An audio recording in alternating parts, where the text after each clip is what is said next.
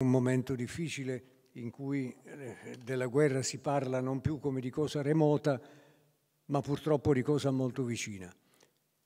Ma mm, il cammino che cercherò di percorrere eh, risale molto indietro nel tempo e parte da una considerazione eh, storiografica, potrei dire, e cioè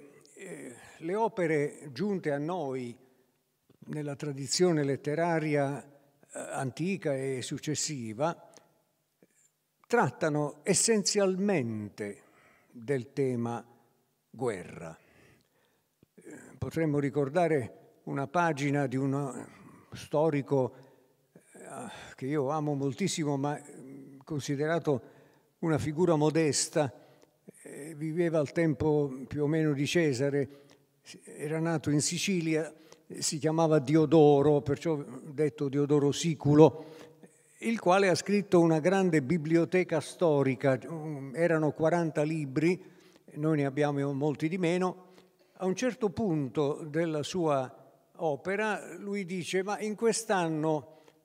è analistica, no? racconta i fatti eh, nella progressione degli anni che si susseguono, in quell'anno non ci fu nessuna guerra, quindi io non ho nulla da raccontarvi.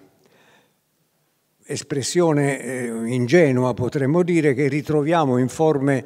meno, eh, come dire, eh, schiette e semplici in una celebre pagina degli annali di Tacito, quindi di uno storico di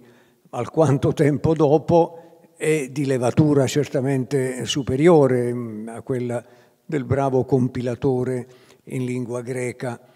Ma eh, la frase eh, che può sembrare un po' urtante, diciamo così, quasi che non esista la storia della pace, eh, ha un suo senso e strettamente connessa a quello che la documentazione giunta a noi eh, ci rivela. Potremmo fare un salto ancora più indietro nel tempo. Si è parlato qualche ora fa in questo medesimo teatro dell'opera capostipite della nostra tradizione, eh, l'Iliade. L'Iliade è stata definita una enciclopedia, enciclopedia tribale, da uno storico, uno studioso anglosassone di nome Havelock. È una definizione pertinente, secondo me opportuna. Dentro l'Iliade c'è anche la pace, non c'è soltanto eh, questa geniale trovata dell'autore di ritagliare un periodo brevissimo di questa guerra durata dieci anni e di concentrare le vicende di cui parla essenzialmente in quei pochi giorni in cui il poema si svolge. C'è anche la pace che viene raffigurata, sembra un gioco intellettuale molto raffinato, sullo scudo di Achille. No? Achille ha dato le sue armi eh, a un amico suo strettissimo, Patroco, Patroco è stato ucciso in duello, le armi sono state sottratte, quindi eh, la madre molto vigile eh, fa fare altre armi per lui che tornerà nella battaglia in maniera travolgente e Omero si sofferma nel descrivere lo scudo e c'è un intero libro eh, dell'Iliade che descrive lo scudo. Su questo scudo è raccontato il mondo, potremmo dire. Le opere della pace sono raffigurate, eh, le opere eh, dell'agricoltura, l'amministrazione della giustizia, cioè tutto il contrario di quello che avviene nel poema colpo di genio di un grande artista è quello di far intravedere l'altra realtà, quella della quale lui in realtà non parla, perché racconta come poi faranno gli storici e anche i poeti, gli oratori, i filosofi, cioè la guerra. E quando si affronta quel tema sorge la domanda sulle cause, sul perché uno storico eh, che era nato nella, ad Alicarnasso, nella Grecità asiatica, poco dopo l'inizio eh, della prima guerra persiana, quindi è nato, questo, eh, mi riferisco ad Erodoto di Alicarnasso, del quale abbiamo ben nove libri mm, molto interessanti, molto vari di contenuto, che lui a un certo punto raccolse in una struttura unitaria, una cornice potremmo dire, eh, ponendo quindi al centro dell'intera narrazione che parla di tante cose, parla dell'Egitto, parla de, del, della Mesopotamia, della Scizia, ma la cornice raccoglie tutta questa materia intorno a un tema centrale che occupa gli ultimi libri, la guerra tra i greci e i persiani. E quindi all'inizio di questa cornice scritta dopo, potremmo dire a compimento dell'intera opera, lui racconta, ricostruisce le tradizioni intorno alle cause di questa guerra greco-persiana. Mi fermo ancora qualche minuto su questo punto perché si tratta di un caso straordinariamente eh, istruttivo. Eh, la guerra greco-persiana che ha due fasi, la prima invasione nel 490 a.C., la seconda dieci anni dopo, eh, occupa i libri dal sesto al nono, quindi l'ultima parte, sono libri molto ampi ma nella cornice iniziale che allude all'epilogo, diciamo alla parte terminale di quest'opera, Erodoto si pone la domanda perché Oriente e Occidente, grecità e mondo asiatico persiano essenzialmente sono venuti a conflitto? E quindi in certo senso recupera anche l'altro grande episodio, cioè la guerra durata dieci anni da parte di una coalizione di principi greci per conquistare la città eh, microasiatica di Troia o Ilio, che è l'argomento non soltanto dell'Iliade ma poi di tanti altri poemi che non abbiamo più. Quindi riconnette, potremmo dire, il conflitto storico del quale i suoi genitori erano stati spettatori e che lui conosce per sentito dire, cioè la guerra eh, tra i greci e i persiani, riconnette quell'episodio, quella vicenda memorabile per il mondo greco, con una guerra remota molto precedente, quella appunto di una coalizione greca che attacca una città importante dell'Asia, cioè appunto eh, Ilio. Quindi crea, suggerisce una sorta di lungo conflitto orientale-occidentale, di cui le guerre persiane sono l'ultimo episodio, e quali, eh, del quale conflitto si domanda, si pone la questione perché sia esploso, come mai e qui dà spazio a tradizioni di origine persiana.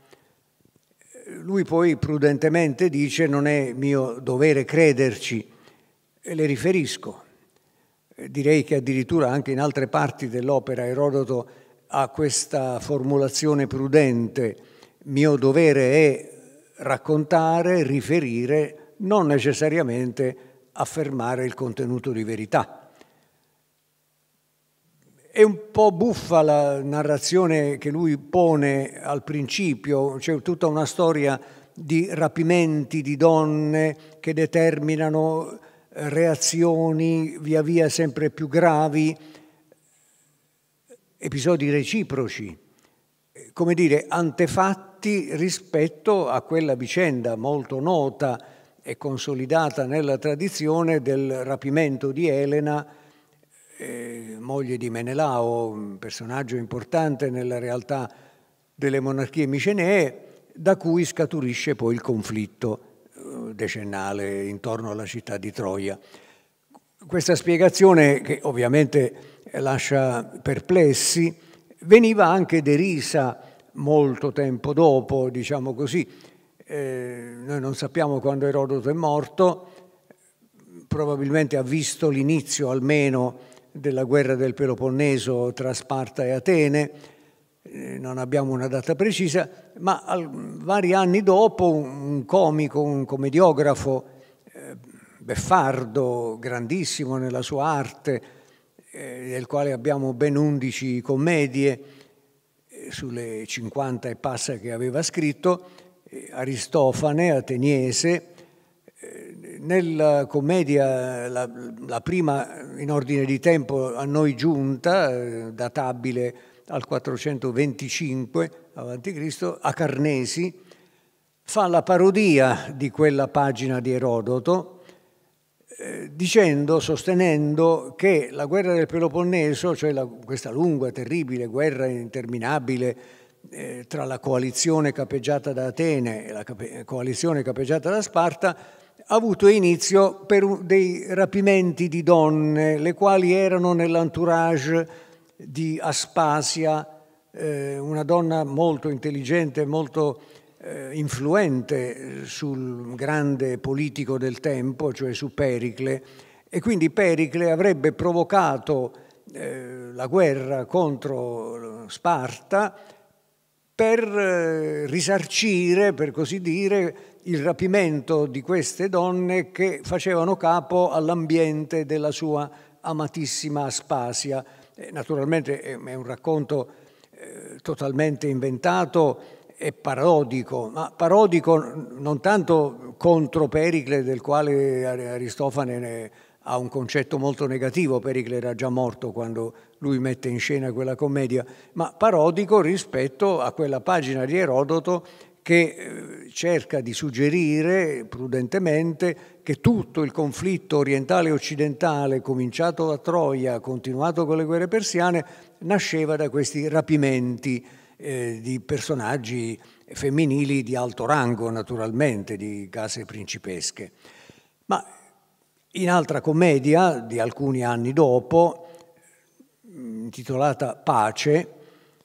che coincide quasi negli stessi giorni in cui effettivamente fu firmata la pace del 421 eh, tra Sparta, la cosiddetta pace di Nicea, che sembrò essere risolutiva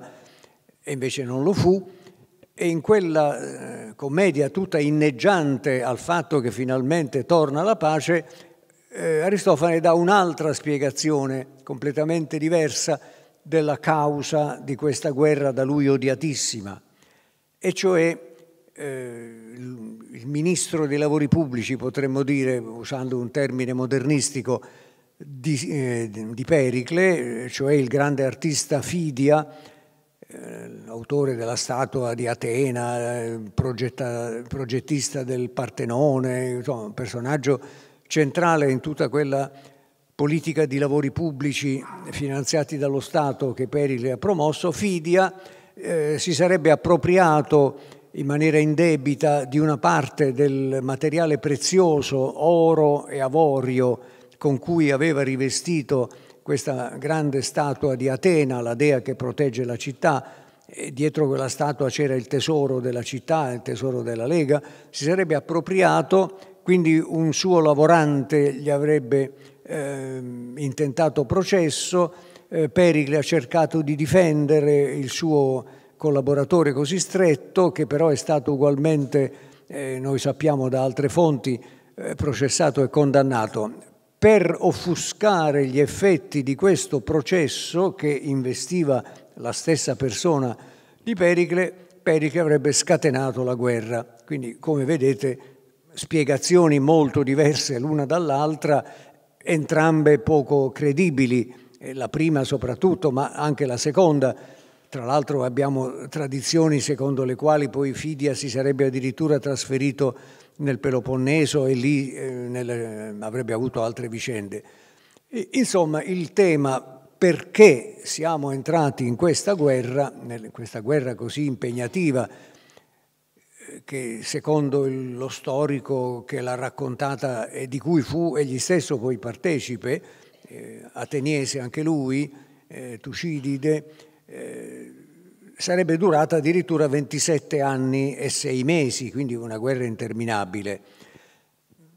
Non è del tutto convincente, alcuni eh, all'epoca non pensavano che fosse un'unica guerra durata 27 anni. Perché? Perché c'è un inizio eh, nell'anno 431 eh, con alti e bassi, eh, colui che l'ha provocata, l'ha voluta, potremmo dire, cioè Pericle, è morto poco dopo l'inizio per un contagio pestilenziale tremendo che ha falcidiato la popolazione ateniese, ma la guerra è andata avanti con i suoi successori politici più o meno seguaci del suo orientamento politico e soltanto eh, dopo la morte del più autorevole esponente bellicista, diciamo, della politica ateniese, cioè eh, Cleone, e del suo rivale nel campo spartano, cioè Brasida, soltanto allora si è stipulata una pace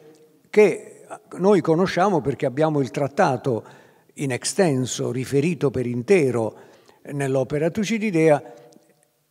primo firmatario, parte ateniese, questo signore che si chiamava Nietzsche, l'uomo più ricco di Atene, aveva l'appalto delle miniere d'argento, era un uomo ricchissimo e molto ostile alla politica bellicistica di Pericle, questa pace doveva durare 50 anni, ma durò molto di meno, durò pochissimi anni, perché il conflitto ricominciò in un altro teatro di operazioni, in Sicilia, con un attacco assolutamente pretestuoso di Atene eh, contro Siracusa, grande potenza siciliana, eh, conflitto nel quale gli alleati peloponesiaci di Siracusa entrano a un certo punto in scena e quindi ricomincia un conflitto con le potenze peloponesiache che va avanti per tre anni. Nel frattempo Sparta invade da capo l'Attica e altri dieci anni di conflitto, quindi i contemporanei dicevano sono tre guerre diverse una dall'altra. La guerra decennale, che è finita appunto con quella pace che doveva durare 50 anni, la guerra in Sicilia, finita in disastro per Atene, perde una flotta enorme, un migliaia di uomini, e poi una terza eh, guerra micidiale, eh, de, chiamata Deceleica perché un comune dell'Attica che si chiamava Decelea fu occupato stabilmente dagli Spartani, i quali di lì colpivano Atene, ma non ce l'avrebbero fatta se la grande potenza lontana ma sempre incombente, cioè la Persia, non avesse scelto di appoggiare gli Spartani addirittura consentendo loro di costruire, cosa inaudita, una flotta da guerra, Sparta era una potenza terrestre, non marittima, e sul mare, anche grazie, pare, al tradimento di alcuni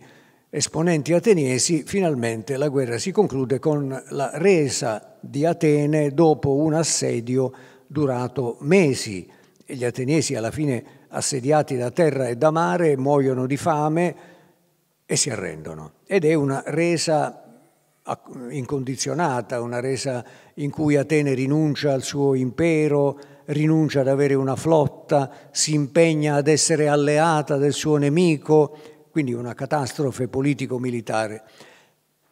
Tucidide è stato eh, stratego, cioè generale con importanti compiti eh, nel nord della costa della Tracia, dove lui era fra l'altro appaltatore delle miniere d'oro che Atene possedeva nella costa Tracia e quindi è un protagonista di questa vicenda, eh, ha deciso di raccontarla, lo dice all'inizio della sua opera, avendo capito subito, lui dice, avendo capito subito che sarebbe stata la guerra più grande, più impegnativa, definitiva in certo senso, una resa dei conti inevitabile all'interno del conflitto di potenza nel mondo greco. Riflettendo su quelle vicende di cui è stato egli stesso partecipe, approda alla diagnosi in realtà si trattò di un'unica guerra. E questa diagnosi lui la connette ad una riflessione che in certo senso giustifica quella diagnosi, la rende logica, comprensibile. Quale riflessione?